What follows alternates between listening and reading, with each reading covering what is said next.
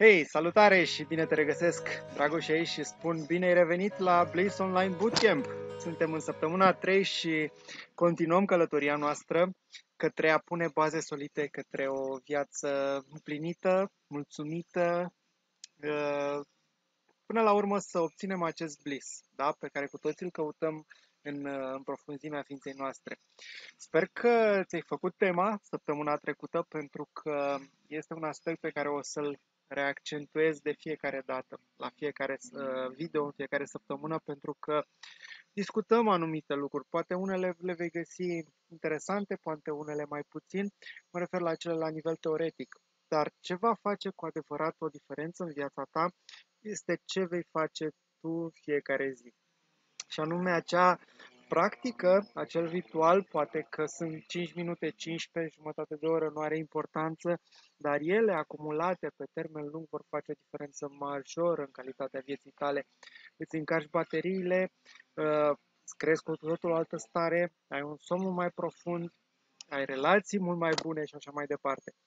Așa că astăzi uh, continuăm. Da, sper că ai reținut de data trecută, am discutat despre formula fericirii, da, deși e un pic uh, uh, impropriu spus, da? pentru că intervin mult mai mulți factori decât asta, dar am simplificat pe cât, pe cât posibil și am spus, fii mulțumit acum și fă progres, evoluează. Și am văzut data trecută cum poți să fii mulțumit acum și am introdus deja două uh, strategii, dacă vrei, în uh, ritualul tău și anume să simplifici viața și sper că ai eliminat măcar o activitate care nu ți-e de folos și practica recunoștinței, da? care am văzut recunoștința ne pur și simplu ne face mulțumiți acum. Da? Dacă uh, nu mai reții, revină la videoul din săptămâna trecută și reia această lecție pentru că e, e important. Astăzi discutăm despre partea a doua a acestei formule și anume progresul, pentru că nu putem doar să fim mulțumiți acum, pentru că nu va dura foarte mult. Dorințele sau vor apărea anumite uh, dorințe interioare care ne vor face să ne extindem, să vrem mai mult. Și asta e important să facem uh, eforturi către un scop nobil. Și e foarte important către un scop nobil, pentru că putem să facem progres, dar într-o direcție total diferită. Și o să, o să vezi care e filtrul pe care îl, ți-l voi da ca să vezi dacă este către un scop nobil. De fapt, ce înseamnă scop nobil e să mergi către următorul nivel în viața ta. Și întrebarea pe care ți-o poți pune, filtrul pe care îl poți aplica este mă ajută această activitate să merg înainte? Mă ajută să devin persoana care vreau să devin, mă ajută să progresez, pentru că un job care îl faci doar pentru bani s-ar putea să te asigure anumite uh, avantaje, însă s-ar putea să nu fie către un scop nobil. Scop nobil nu înseamnă să salvezi planeta, înseamnă să devii tu să faci următorul pas către evoluția ta. Să-ți dau un, un scurt exemplu, cum am învățat eu uh, și cum am reușit să mă aliniez cu scopul meu, cu misiunea mea, dacă vrei. Am încercat foarte multe și probabil știi că background-ul meu uh, a fost în finanțe, am fost corporatist uh, câțiva ani buni de zile și chiar dacă aveam o carieră foarte înfloritoare, am dat seama că nu ăsta este drumul meu. Tot timpul e important să ne calibrăm și să vedem cu sinele nostru unde ne, unde ne cheamă. În una din uh, încercările mele antreprenoriale, la începuturi, după ce am plecat din, din corporație, uh, am uh, deschis un bar, o cafenea. Și era un proiect frumos și foarte multe evenimente, susțineam proiectele non-profit. Și vreau să spun o scurtă întâmplare ce am învățat de la Donald Trump, că sună interesant, nu că e un model al meu, dar e acum în vervă, în vogă. Și uh, spuneam, am uh, lansat aceast, acest proiect, această cafenea și țineam acolo foarte multe evenimente, o activitate foarte intensă. Mă mutasem acolo, la mansardă aveam uh, o, un mic dormitor da? Era o vilă pe trei nivele și făceam foarte multe activități în fiecare zi, dormeam foarte puțin, eram foarte obosit, dar prind în priză nici nu-mi dădeam seama de asta. Și după o perioadă au început să apară niște probleme. Noi închiriasem uh, vila de la o doamnă care era în uh, proces de divorț cu soțul ei și anume uh, noi închiriasem de la doamnă și soțul nu ne vroia acolo. Și fiind, el fiind o persoană publică, nu pot să dau nume, bineînțeles, a încercat să ne pună bețe în roate. Adică, într-o bună zi ne-am, trezit, ne-am trezit cu vreo doi inspectori de la sectorul 1, după care am scos-o noi la capăt, a doua zi vin vreo șase inspectori de la toate comisiile posibile. Și apoi au început procese, să mergem cu avocați la primărie, la tot felul de comisii și așa mai departe. Bătaie de cap care cumva ne-a scos din, din ritm, din intențiile noastre frumoase pe care le aveam cu acel proiect și mi-am pus întrebarea foarte serios dacă continuăm sau nu. Pentru că deja duceam o luptă care nu prea aveam sorți de izbândă. Însă intenția mea era să, să continuăm și vreau cumva un semn că e, sunt pe drumul cel bun, că trebuie să mergem mai departe și merg în bibliotecă, aveam o bibliotecă frumoasă acolo, uh, cu mai multe cărți pe care le primisem ca donații de la o editură și mă uit așa intuitiv, văd o carte a lui Donald Trump cu titlul Nu renunța niciodată. Și am zis, a, aici trebuie să găsesc uh, mesajul de care am nevoie, să mă motiveze, să am determinare. Și iau cartea și deschid la întâmplare ca să aflu ce mesaj este pentru mine și unde crezi că am deschis? La capitolul Învață când să spui stop. Da, și de fapt era singurul capitol din toate cele, nu știu, peste 10 probabil, care toate erau numai de încurajare. Ăsta era singurul în care învață când să spui stop. Așa că am primit această lecție și am uh, pus stop acelui proiect, după care a urmat o perioadă de uh, aliniere cu mine, de introspecție, de a vedea ce este cu adevărat important pentru mine, pentru că atunci eram într-o alergătură continuă nu puteam să-mi dau seama dacă fac bine ce fac sau nu, pentru că eram doar din inerție și în reacție. Așa că după acea perioadă m-am uh, aliniat, am făcut liniște și de-abia după aceea am început partea aceasta de seminarii, de a crea programe informaționale, ceea ce mă reprezintă mult mai mult, pentru că mi-afirmă partea creativă pe care o ignoram până atunci și dă timpul de care am nevoie ca să studiez, să practic, să ajut oamenii, da? să fac lucrurile care, care mi-aduc cu adevărat satisfacție. Așa că cred că e important ca fiecare dintre noi să ne aliniem cu, cu scopul nostru, pentru că asta e ce ne aduce cea mai mare satisfacție și probabil că nu o să-ți iasă din prima. Nu o să te aliniezi, se întâmplă foarte puține cazuri din prima să te aliniezi cu scopul, dar încearcă, testează, calibrează și vezi ce spune interiorul tău, dacă ești pe drumul cel bun sau nu. Și filtrul pe care să-l aplici, unul simplu. Această activitate, acest proiect mă va aduce mai aproape de mine, de scopul meu, de sinele meu, mă va ajuta să evoluez sau nu. Și în funcție de asta e decizia dacă mergi pe asta sau nu. Și apoi mai departe vei lua și vei aplica din nou același filtru și mai departe și mai departe. Da? Pentru că e important să avem un scop. Nu putem să ne să mergem așa ca frunza în vânt, pentru că nu vom face nimic. E important să canalizăm energiile, să le concentrăm către o direcție și ăsta este scopul tău, ăsta e rolul scopului tău, pentru că altfel ne bate vântul și ne ducem cu valul, ne ducem uh, cu turma, dacă vrei, și asta nu înseamnă neapărat un lucru bun, deși societatea ne învață alt, alt lucru. Da? Și E important cine devenim în acest drum. Scopul nu este pentru scopul în sine, nu trebuie să ajungem undeva, ci cine devenim în acest drum e important. Da, ne ajută să ne învingem fricile, pentru că dacă nu avem un scop undeva unde vrem să uh, ajungem, undeva unde depunem efort, la cea mai mică frică vom da înapoi. Având scopul în minte, ne va ajuta să facem pasul atunci când e nevoie. Da? Și de asta ne avem foarte multe beneficii când facem și depunem progres, uh, eforturi către un scop nobil. Și e important să terminăm ce ne, ce ne propunem. Dar sunt mai multe principii aici care ele în sine ne-ar lua, cred că, câte o oră fiecare să le discutăm, le numer doar pe scurt. Da, avem uh, fiecare dintre noi anumite talente, abilități și probabil scopul e legat de acestea, de ce făceam poate și în copilărie, din, din plăcere. Eu mi-aduc aminte că scriam și construiam, mă jucam cu Lego și ca astea cumva sunt, cred că, și darurile mele. Da? Practica deliberată plus flow e foarte important în activitatea ta, în abilitățile pe care le faci să practici atât antrenamentul, cum fac sportivii, practică deliberată, să iei bucățele din uh, abilitatea ta și să le aduci la perfecțiune sau cât mai aproape de asta și apoi când prestezi, dacă vrei, ca și un artist, când este în flow sau când uh, se lasă ghidat sau se lasă uh, cumva în, în acel proces. Da? Dar ambele sunt importante, atât practica în care depunem efort susținut, cât și flow-ul. Bun, ăsta este ce am uh, avut de, asta este ce am avut de spus despre acest principiu al fericirii și anume fi mulțumit acum și progres. Da? Reia acest uh, capitol și pune pe hârtie care este planul tău.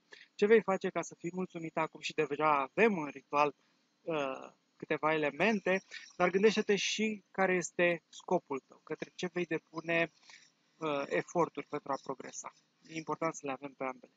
Mergem mai departe și un element extrem, extrem, extrem de important din uh, modelul nostru, fără de care nu putem face nimic, nici să mergem către scop, nici să evoluăm, nici să câștigăm bani, absolut nimic nu se întâmplă fără a umple rezervorul. Da, de fapt nu poți fi fericit fără energie. Avem nevoie de energie și energie pe toate planurile, da, pentru că altfel rămânem pe roșu cu rezervorul pe roșu, se aprinde becul, apar bolile, apar provocările, apare stresul. Stresul apare când suntem cu rezervorul pe roșu, mai ales la nivel mental, cu energia mentală.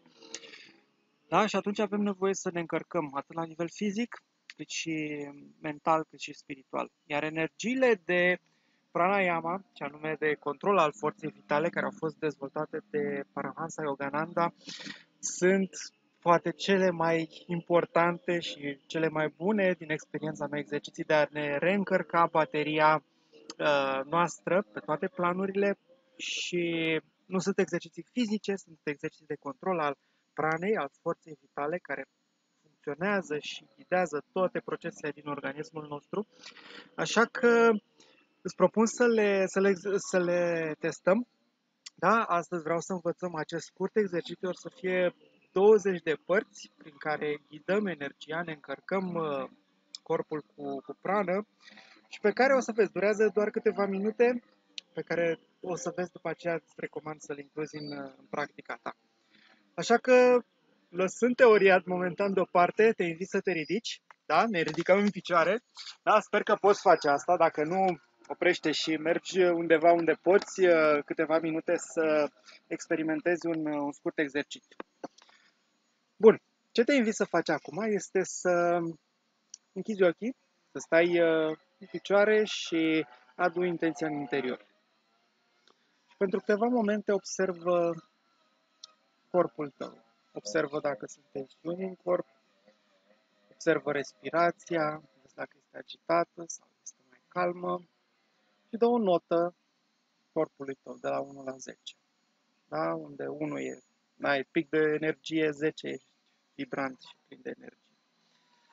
După care mergem la minte și observăm dacă mintea e agitată sau este relaxată, dacă sunt gânduri. Bun. Și o să uh, facem uh, acest exercițiu. Este exercițiul central, de fapt, al acestei practici, care are o are mult mai multe componente, însă exercițiul acesta e de bază și o să vezi că durează puțin, dar ne ajută să ne încărcăm uh, fiecare parte a corpului. Da? O să mergem pe cele 20 de părți. Așa că, principiul este de tensiune, de contracție și relaxare. Și o să luăm uh, grupele de mușchi. Începem cu talpa piciorului stâng. Da? Și, atenție, nu sunt exerciții fizice, sunt exerciții care ne aduc foarte multe beneficii, o să discutăm imediat, însă întâi hai să le, hai să le practicăm. Da? În primul rând, inspirăm cu dublu inspir, da? un inspir scurt și unul lung și tensionăm în același timp tot corpul. Haide! Menține tensiunea, menține toți mușchii contractați și picioarele și abdomenul și pectoralii și brațele și mușchii feței și relaxăm cu dublu expir. relaxăm tot corpul. Încă o dată, inspirăm, tensionează, tensionează, ține tensiune în tot mușchii și relaxăm. Și încă o dată, și menține tensiunea și relaxăm. Bun. Acum o să aducem atenția în talpa piciorului stâng, contractăm și relaxăm. Talpa piciorului drept, contractăm și relaxăm. Gamba piciorului stâng, contractăm și relaxăm. Gamba piciorului drept, contractăm și relaxăm. Pulpa piciorului stâng, contractăm și relaxăm. Pulpa piciorului drept, contractăm și relaxăm. Fesierul stâng, relaxăm. Fesierul drept, relaxăm. Antebrațul stâng, contractăm până vibrează și apoi relaxăm gradual. Antebrațul drept, contractăm până vibrează, apoi relaxăm gradual, nu dăm drumul brusc. Partea superioară a brațului stâng și relaxăm. Partea superioară a brațului drept și relaxăm. Pectoralul stâng și relaxăm. Pectoral drept. Relaxăm. Gâtul, partea stângă, mușchii din stânga gâtului, încercăm să izolăm doar această parte, doar această zonă. Mușchii din partea dreaptă a gâtului gâtul din partea față și spate ceafă. Și relaxăm. Tensionăm toți mușchii și cu dublu inspir. Și relaxăm. Încă o dată. Și relaxăm. Bun. Cum a fost experiența? Gândește-te și observă-ți uh, corpul vezi dacă e vreo diferență față de atunci când ai început. Da, probabil că energia circulă mai, uh, mai liber acum și s-au uh, deblocat uh, canalele energetice. Da, nu te îngrijora dacă n-ai reușit să-l faci foarte bine sau nu ai reținut ordinea pentru că îți voi trimite și vei putea descărca și exercițiile în ordinea corectă da? și le vei putea face în ritmul tău. Acum am mers un pic mai repede. Da? Vei găsi acolo și toate indicațiile necesare. Am vrut doar așa foarte pe scurt să-l, să-l experimentezi. Da? Sunt exerciții care, ai văzut, durează foarte puțin, deși un setul complet este mult mai extins, dar ele ne ajută să dezvoltăm concentrarea și forța mentală, ne ajută să luăm control asupra pranei, relaxăm nervii, elimină tensiunile, stimulează circulația, și așa mai departe. Uh, are foarte multe beneficii pe toate planurile vieții noastre și ți le recomand să le, să le testezi, să le incluzi în practica ta. Așa că un ultim lucru pe care vreau să ți-l transmit astăzi, pe care l-am spus și la început și la, de fiecare, la fiecare sesiune îl, îl repet, ceea ce ne va susține în această călătorie a noastră, în evoluția noastră, în tot ceea ce vrem să obținem și să Uh, atingem în viața noastră sunt obiceiurile. Pentru că, reține, voința nu durează. Avem o cantitate limitată în fiecare zi. Dacă vrem să obținem lucruri, da, numai să ne îndeplinim obiectivele, să spunem doar pe voință, nu vom reuși să ajungem prea departe. Pentru că ce ne va susține pe termen lung sunt obiceiurile și, bineînțeles, obiceiurile suportive, pentru că obiceiuri avem cu toții, dar majoritatea, din păcate, sunt uh, cele defavorabile, cele care, de fapt, ne iau energie pentru că ele se instalează mult mai ușor.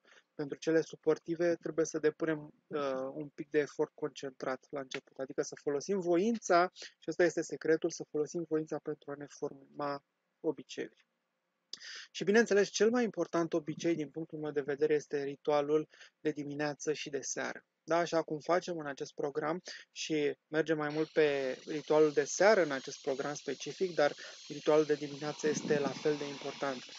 Așa că tema pentru această săptămână este să mai aducem un element în acest ritual uh, Pe lângă exercițiul de respirație, pe care deja sper că îl faci și îți vine natural, după cele cinci elemente de recunoștință pe care fie le scrii sau le te gândești la ele, să mai adăugăm câteva minute cu acest exercițiu pe care l-am uh, testat acum și pe care, îți repet, îl uh, găsești în uh, documentul, în acest e-mail. Da? Și probabil în total 10-15 minute momentan cred că e important și îți uh, va aduce enorm de multe beneficii pe termen lung. Vei dormi, în primul rând, mult mai bine. Cred că deja ai început să simți efectele acestea. De săptămâna viitoare vom mai adăuga ceva, așa că e important să le faci. Dacă nu le uh, dacă nu ți-au intrat încă în, uh, în ritm, să spunem, e important să, le, să începi să le faci, pentru că de săptămâna viitoare vom mai adăuga încă o, un exercițiu și va fi deja mult dacă n-ai început deja să faci. E important să fie progresiv și treptat. Așa că spor la treabă, ne revedem săptămâna viitoare și continuăm călătoria. Pe curând!